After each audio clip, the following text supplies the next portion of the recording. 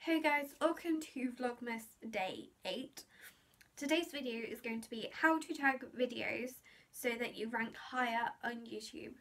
Obviously I know I've got a smaller channel but I research a lot about trying to grow my channel and these tips I came across and I wanted to share them with you guys so I wrote them down because usually I don't actually write them down but I'm just gonna be going through them and letting you know how you can grow your channel.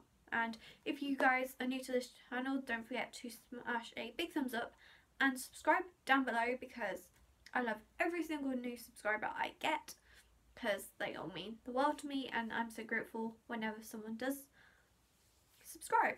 And also comment any video ideas or anything like that and let's just get into this video. Okay, now the first tip is use the video title as a tag. Now that sounds quite obvious because if you're doing a video on that, then surely it's going to only be right that you use it as a tag. Well, and obviously that tag would be how to tag videos to rank higher on YouTube, which is most likely the name of this video. But then, related tags, and these, the first few I'm going to say I came across through research, and that, and the few that I've found are how to tag YouTube videos, how to rank higher on YouTube, how to tag YouTube, tag YouTube, and tagging YouTube. Now those seem pretty simple and quite generalised, and they're obviously quite generalised to the name of your video. Now from that I thought of tagging tips, tagging videos, how to gain more views and how to rank on YouTube. But then when I get used vidIQ or vidIQ, I don't know how you say it, which I'm going to mention later on in this video. It comes up with YouTube SEO, how to rank YouTube, video, how to rank YouTube videos, should I say, and video SEO. I don't know what the SEO stands for. I'll probably I'll write it up there so you guys know. But and obviously those are very generalised to that title. And obviously if you sort of think of any more then you could add them. And I think I know it generally says you don't have a limit but I've once tried to add more than 20 tags like more than 25 tags and it wouldn't let me so and there weren't long tags either so I feel like there might be a little bit of a limit like I was stopped at about 20 but you might be allowed a maximum of 30 but it could just be a character limit. But YouTube says there isn't a character limit, but just bear that in mind. Tip number two is search your title on YouTube. Now, you might not think of doing this, and I only came across this recently and I hadn't thought of doing it.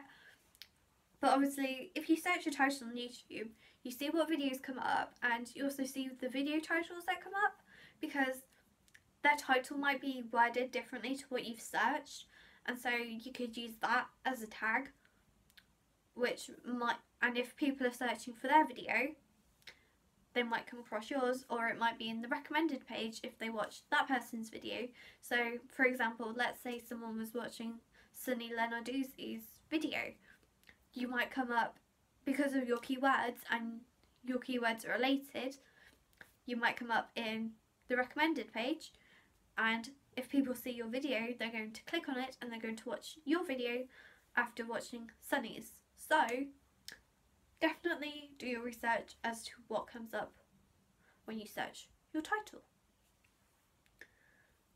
And obviously, like I said, use a tag if it use that video name as a tag if it's different to your own. Tip number three is use the keyword tool.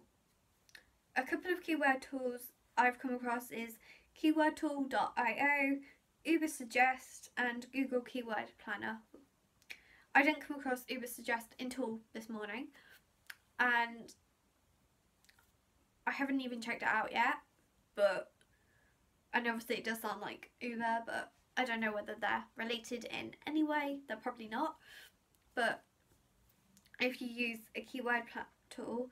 Like don't type in the whole like well maybe type in the whole of the name of your video but you might not come up with much but if you come up with like a short like let's say you put in how to tag YouTube videos you might come up with more tags you can use than if you put in your whole YouTube title so keep that in mind but it does also mean that it comes up with what people are watching and all that. Obviously I think with keyword planner don't you have to pay for it? So I haven't used that personally. I've only used keywordtool.io so far but I have found it quite useful so I would definitely recommend checking it out and I will leave the link in the description box below and also tomorrow I'm going to be doing a tips to hashtagging on YouTube so again subscribe and turn on those post notifications so you know when I next upload that video and if you want me to upload any more like YouTube tip videos then just comment down below as well because I'd be happy to do them. The next tip is just brainstorm. Get a piece of paper or whatever and just write down your video idea or your video title and then write down what you think of when it comes to that video. Obviously it's very similar to use the video title as a tag and finding related but sometimes you might think of a different topic because of that video but as long as it's related then you can use that as a tag and the reason why you think of a complete you might think of a completely different idea from your video is because that topic has a certain schema and that's in your mind. Basically a schema is like a file that like a certain topic is. So birds are in one schema aeroplanes are in another. They look similar but they're not. That's just related to an example I learned recently. And that's also why you like one moment you could be thinking about what was the example we used That's why you can go from equilibrium to poo to Tinkerbell. And I'd like to point out that it's a real example. But it's not one I've made was like as a class. But yeah, you can go from equilibrium to poo to Tinkerbell. So yeah, but everything in your mind has a place and so sometimes you might think of a, a topic that's related to your title that someone else might not think of because their schema might be different to yours. Just thought I'd add in a bit of psychology there. Okay, now the next one is, and the last one, and which is also the last one, is spy on your competitors.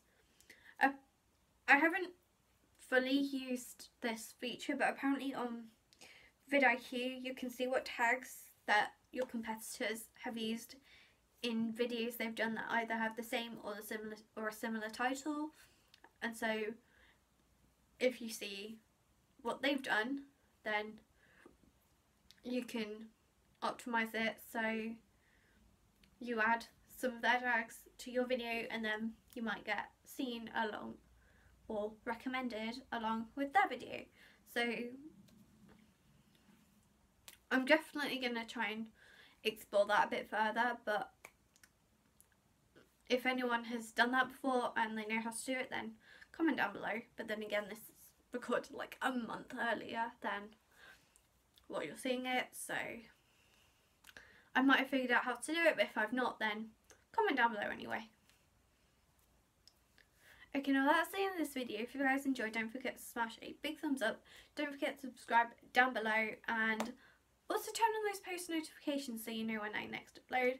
And comment any video ideas you want me to do for either the rest of Vlogmas if I've not filmed all Vlogmas videos or maybe even in the new year and I will see you guys in my next video. Bye!